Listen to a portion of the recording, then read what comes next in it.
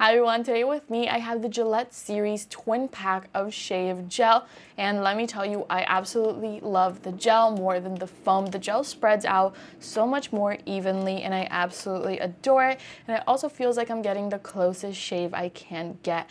This one comes in a pack of two as you can see and they're each 198 grams or 7 ounces so they're definitely going to last you quite a while. Let me open it up and show you guys what it looks like.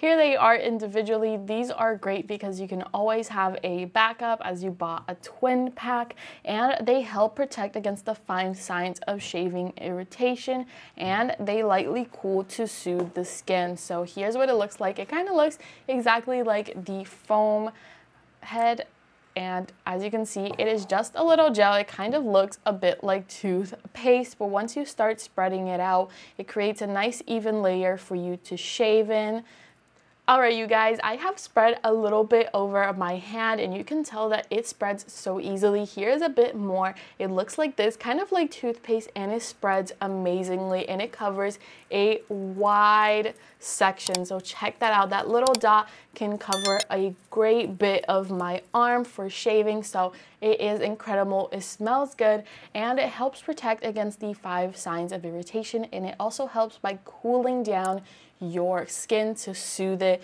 while you shave. So I definitely recommend the Gillette Series Twin Pack and their razors are great too and you can check them both out on Amazon.